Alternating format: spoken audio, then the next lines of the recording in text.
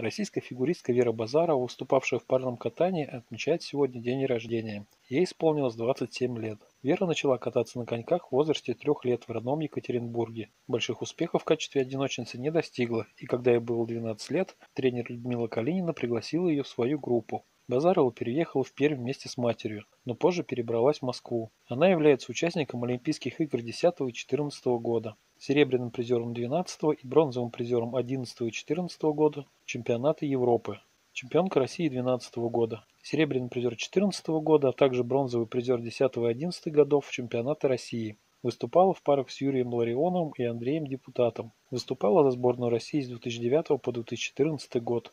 17 ноября 2016 года объявила о завершении спортивной карьеры.